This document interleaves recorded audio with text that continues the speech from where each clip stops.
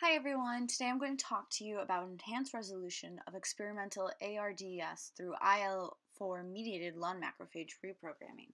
Written by D'Alessio and Craig et al., published in the American Journal of Physiology this February 19, 2016. To give some very general background on the specific system that this paper looked at, I first want to look at the respiratory system and specifically its primary organ or organs, the lungs. Humans have two, a left and right, which um, reside in the thoracic cavity. They're a very spongy organ, and the trachea is actually what um, is upper portion, and when inhaled, allows air to enter into the bronchi. Bronchi divide into even smaller sections referred to as the bronchioles, and at the end of the bronchioles are little sacs referred to as al- alveoli, which is the location where oxygen can enter into the bloodstream and carbon dioxide can be released. And this process is known as gas exchange. Now, the paper looked into a particular syndrome referred to as ARDS that remains a very serious clinical threat. ARDS is acute respiratory distress distress syndrome, and it's the accumulation of fluid in the al- alveoli. It limits the ability for oxygen to flow into your bloodstream and thus deprives your oxygen and reduces their ability to perform their functions. Currently, the mortality rate is at 41%, and there are no known cures or pharma- pharmacotherapy that are effective in this syndrome. ARDS is caused by severe inflammation in the lungs, and this can be instigated by several different factors. Um, it's not necessarily considered a specific disease, but a syndrome that is caused by other factors, such as pneumonia, sepsis, trauma, blood transfusion, drug abuse, etc. Currently, some past research that led directly into my paper was research on T cells, monocytes, and macrophages, which are all cells that are in the immune system. The immune system within an organism that protects against diseases. It is divided into the innate or nonspecific and adaptive, the specific responses. Specifically, ARDS manipulates the innate immune system and the acute inflammation that can occur. Inflammation is the body's response to harmful pathogens or damaged cells that could have been caused by the previously stated factors. The inflammation causes fluid to become trapped in the alveoli and does not allow for proper gas exchange to occur. The lack of oxygen can cause severe effects on the body's organs, organs organs and muscles, and in extreme cases can cause death within a few days after the onset of the syndrome. My paper looked at different immune cells to see how the manipulation and effect of some of these cells could aid in the stopping of ARDS. The first immune cell I want to look at are cytokines, and these act through receptors and modulate the balance between the different immune responses and regulate the responsiveness of particular cell populations. Specifically, IL 4 is a cytokine that induces the differentiation of naive T cells into Th2 cells, and it promotes the activation of macrophages that can aid in the stopping of overinflammation. STAT6 is a signal transductor and activator of transcription proteins and is activated by both IL 4 and IL 13 cytokines. STAT6 promotes antibody immunity and can activate macrophages, which my researchers looked into. Macrophages are large phagocytic immune cells, which, depending upon which cytokines are present, can be activated in two separate groups. Group M1 secretes pro inflammatory cytokines and increases inflammatory response during infection, and group M2 initiates repair and restoration of tissue of tissues. If group M1 res- persists, the lung tissue will never repair and will, be, will continue to be inflamed. M2 is re, re, M2's response is instigated by IL, IL-4 cytokines and are believed to reduce cellular inflammation, cytokine reduction, and fibroproliferation. But as of right now, there is no known way of activating M2 at its early stages.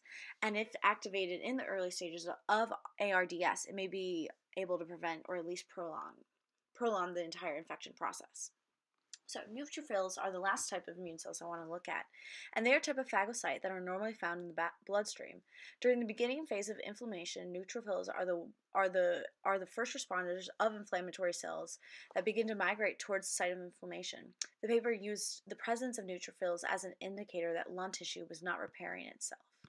With all this background information on how the immune system could possibly be manipulated, my researchers hypothesized that an exogenous administered IL 4 would elicit a response with the aid of STAT6 to activate M2 macrophages and be able to actually repair the damage in the lung that occurred from the other factors, hopefully curtailing the overall effects of ARDS. To do this experiment, the researchers took mice that were 8 to 10 weeks old and exposed them with intratracheal injections of bacteria that would then elicit an immune response. They then exposed them to an IL 4 treatment. The mice were divided into three different treatment groups, days 4, 5, or 6, based off the period of exposure time and the day they were euthanized at. PBS liposome injections acted as a control throughout the experiment. The bronchial alveolar lavage, or BAL, was analyzed by, by centrifuging, and the total protein count was measured via the Lowry method and quantified through ELISA. On day 4 and 6, lung tissues were homogenized, RNA and proteins were extracted, and then quantified via re- real time PCR. Western blotting was used to purify the protein concentrations, and flow cytometry was used to isolate the leukocytes, macrophages, and monocytes. One way ANOVA, students' t-test, and the Tukey's test were all used to significantly measure the result. Figure 1 shows that IL-4 can improve mortality and, and increase lung repair. Figure 1a is comparing the survival rate of the IL-4 treated mice with the PBS control group. The x-axis represents the amount of days after the intratracheal exposure of LPS, and the y-axis represents the percentage of survival. It was observed that the IL-4 treatment group had a 92% survival in comparison to the PBS group, which had a 57% survival rate.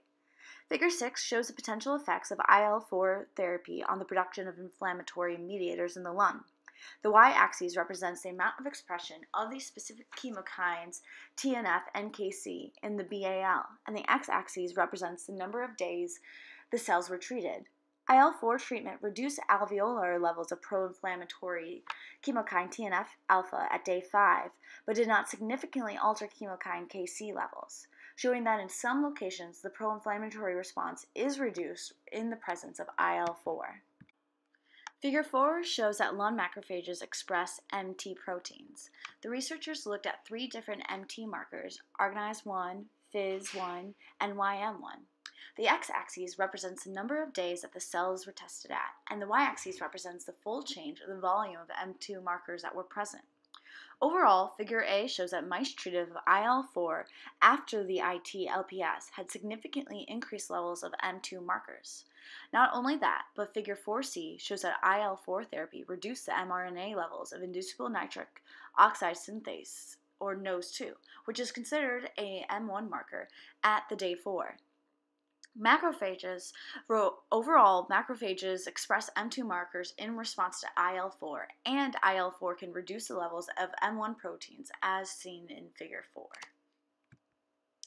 Figure 6 shows that STAT6 is required for M2 production. The researchers wanted to test if STAT6 is necessary for the M2 markers. To do this, they compared IL-4 wild-type mice with mice that have had their S6 silence, as seen on the x-axis, and looked at their ability to produce the BAL proteins in figure B and BAL neutrophils in figure C as measured on their y-axis. Compared to IL 4 treated wild type mice, STAT6 silence mice demonstrated an impaired resolution with um, persistently elevated BAL proteins and neutrophils, showing that the lung repair process has not begun. Figure E looked to see if the STAT, STAT6 silence mice were able to express M2 markers in comparison to the wild type. Regardless of the presence of IL 4 or not, the M2 markers were significantly reduced in the STAT6 silence mice, showing that the transcription activator is necessary for the lung repair process. Figure 8 shows that IL 4 can increase repair in vivo. The researchers wanted to test if it would be beneficial on a live bacterial model. What they found supported their in vitro results. With the IL 4 treatment, the M1 and inflammation overall can be reduced. BLA proteins and neutrophils are are reduced as seen in A figures A, B, and C of figure 8. And it almost doubled the amount of M2 surface markers in the alveolar, seen in figures D and E. Overall, showing that the IL-4 treatment was a, was a success and should be clinically tested as a way to reduce ARDS. The overall conclusions that can be drawn from this paper are that the IL 4 treatment can help with lung injury and even restore lung function when, when administered exogenously, and the presence of lung macrophages with STAT6 transcription factor are necessary for IL-4 to fulfill its repair functions. And IL-4 appears to enhance macrophages' functions and survival in vitro and in vivo. The discussion questions are what other effects of overinflammation can occur in the body, and two, what are other some issues that could arise from improper gas exchange. And these are my references.